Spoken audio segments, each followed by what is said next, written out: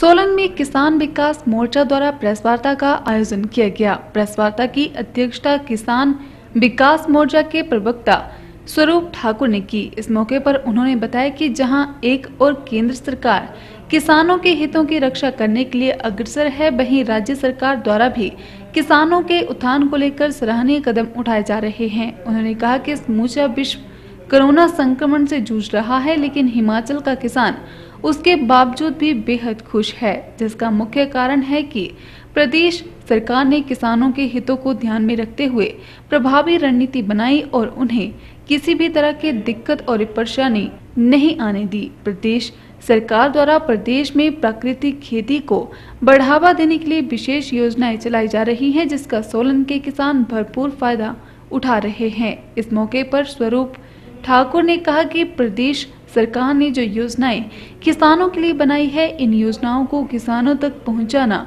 और उन्हें जागरूक करना किसान मोर्चा का लक्ष्य रहेगा, जिसके लिए निरंतर प्रयासरत हैं। उन्होंने कहा कि प्रदेश सरकार ने प्राकृतिक खेती और कृषि के लिए बजट में 25 करोड़ का प्रावधान रखा गया, जिसका मुख्य उद्देश्य किसानों को प्राकृतिक खेती की ओर आकर्षित करना है। उन्होंने कहा कि प्रदेश में किसानों के उत्थान के लिए सरकार कोई भी कोर कसर नहीं छोड़ रही है। यही वजह है कि हिमाचल का किसान बेहद खुशहाल है। सोलन की सेब मंडी, इसका जीता जागता उदाहरण है। उन्होंने कहा कि सोलन की सेब मंडी में बागवान दूर दूर से अपने सेब लेकर सोलन पहुँच रहे हैं और उन्हें उनकी फ़सल के मुँह मांगे दाम भी मिल रहे हैं।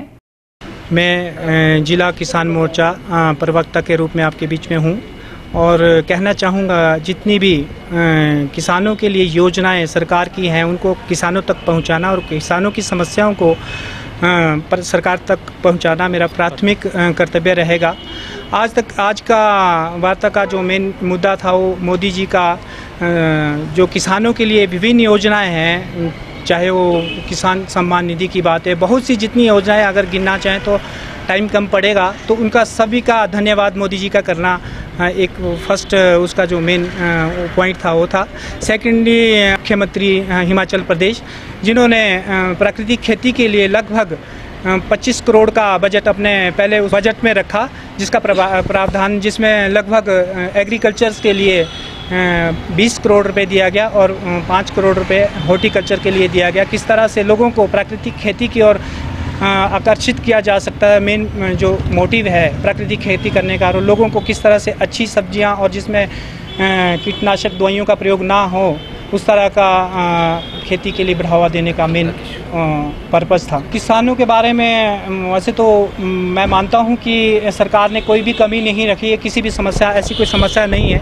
अगर मंडी के बारे में ले लो आप तो हमारा बहुत अच्छा यहाँ टमाटर का व्यापार हो रहा है और सेब का भी बहुत अच्छा व्यापार हो रहा है। अच्छे रेट्स लोगों को मिल रहे हैं। जैसे पहले बाहर की मंडियों में लोगों को जाना पड़ता था उसके अकॉर्डिंगली यहाँ लोगों को नज़दीकी भी है और अपने सामने अपने ट्रांसपेरेंसी में अपना माल बिकता है और सारी चीज़ें और अच्छे रेट्स भी मिल रहे हैं लोगों को।